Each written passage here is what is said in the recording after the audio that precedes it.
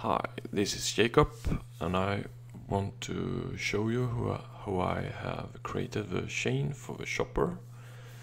It's just a quick preview.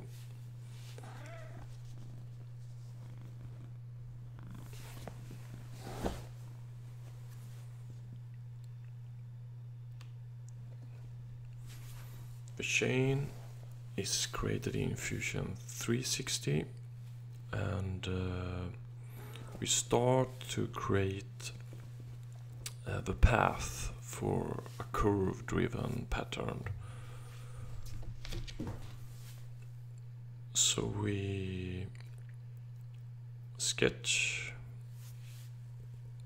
two circles and a line, two lines tangent to the circles, and that is the path for the for the pattern. Then we create two cylinders and uh, we create uh, a part of a chain. And then we copy this uh, part of a chain around the, the path. Uh, and then we have a small gap and we just uh,